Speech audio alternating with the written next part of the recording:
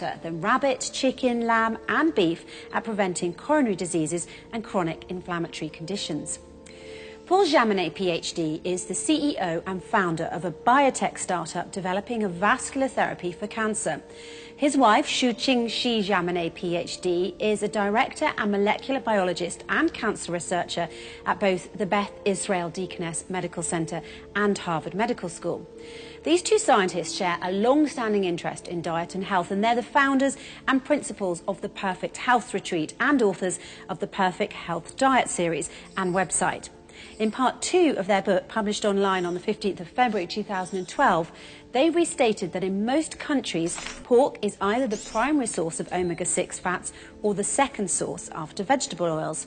They go on to recommend in their book what they call perfect health diets, a certain dietary strategy.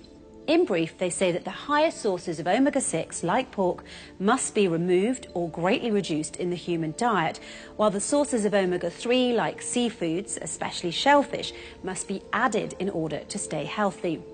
A dietary strategy which is already approved and recommended by all doctors, nutritionists, and molecular biologists an updated dietary strategy which was put by the Holy Quran to all Muslims more than 1400 years ago and which Muslims are ordered to strictly follow. It's becoming clear that religion has its part to play in human health due to the fact that the Jewish, Christian and Muslim religions vary so differently in the type of meat they allow their followers to consume.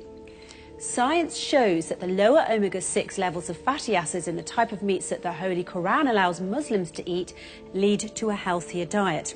Over 1400 years ago, the Holy Quran was already mentioning the health qualities of perirenal fat, shellfish, rabbit, ostrich, and camel, and also stated that as a firm punishment, Jews were not allowed to eat foods that contained this type of meat or this type of fat. The Holy Quran says in chapter 4, verse 160, were made unlawful for them, we deprived the Jews from certain good foods which had been lawful for them before because of the injustice which they had committed and because of their much hindering from the path of God, Allah's way.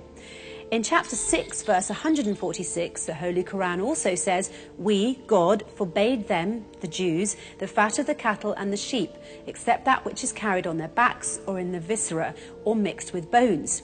This was a punishment we gave them on account of their rebellion.